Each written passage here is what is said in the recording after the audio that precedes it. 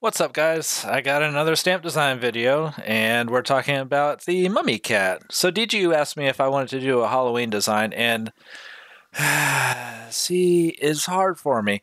I like Halloween, it's fun, but I don't really like doing holiday designs. I don't mind doing what I've called holiday adjacent, where it's right there, like in the theme of things, but I don't want to write Happy Halloween. I don't want to write Merry Christmas. I don't want to write any of that stuff on there. I just kind of want to make something that's in the right feel for the holiday and then it can be associated with the holiday or not.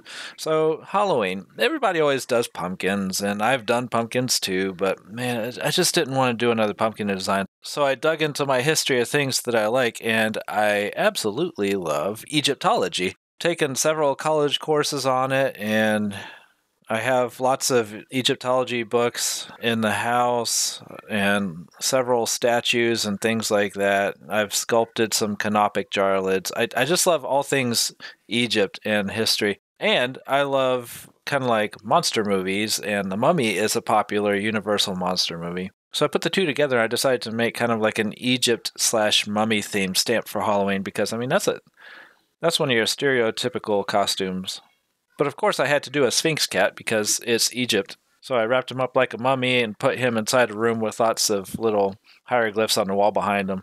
The canopic jars.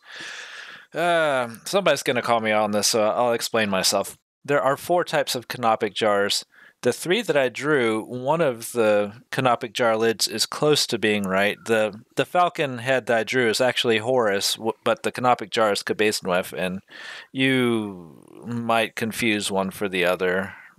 Horus is more of a falcon, Qebehsenuef is more of like a hawk. So you should be able to tell those apart. But Anubis, which is on the ground behind the cat, and uh, Bastet, the cat head that is beside the cat, those two are not traditional canopic jar lids.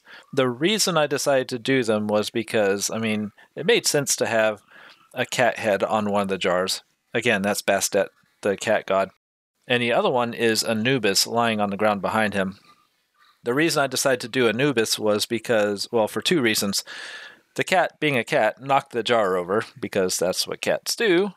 And of course, it was the dog headed jar that he knocked over because cats and dogs seem like low hanging fruit. The other reason is that Anubis, the dog headed god, is the god of death. And him knocking over the dog headed jar kind of symbolizes the power he has over death to come back to life and be like a, an undead mummy cat. So I know those aren't the right heads for the canopic jars but I decided to do it anyway for the reasons I just told you. And then the other thing I was going to point out is that the hieroglyphs on the wall behind him are from the Egyptian Book of the Dead. I basically traced a passage out of the Egyptian Book of the Dead. I did, however, modify some of the hieroglyphs that you see back there. So the sharp eyed observer will notice that I tweaked the hieroglyphs 15 different times, 16 different times. I don't know. I have to go check, but it's in that area. So there you go. Go on a hunt. See if you can find all 15 or 16 that's all I have for you guys. Hope you enjoy this design. I am absolutely going to love throwing it because it's on a polecat and you can't stop me. I hope you guys love it as much as I do. Thanks a lot. Talk to you next time. Bye.